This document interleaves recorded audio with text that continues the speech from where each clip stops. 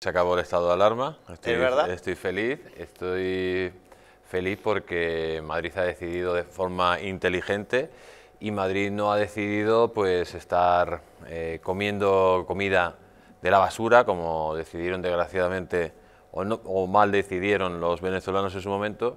Aquí en Madrid hemos elegido pues eh, ir por el camino de, de la libertad, por el camino de- del trabajo y sobre todo por el camino de la prosperidad. Y lo que no queremos es tener a personas que nos llevan a la ruina, al hambre y a la miseria, que es lo que representa el señor Monedero. Claro, que una persona con 900 euros vota a Isabel Ayuso, claro que sí. Es que lo que no quiere es darle, eh, bueno, estar en las colas del hambre y quiere ganar, como dices tú muy bien, su dinero para alimentar a su familia y prosperar por sí mismo, no porque le den un, eh, pues una miseria o un- una ayudita como quieren hacer ellos, ¿no?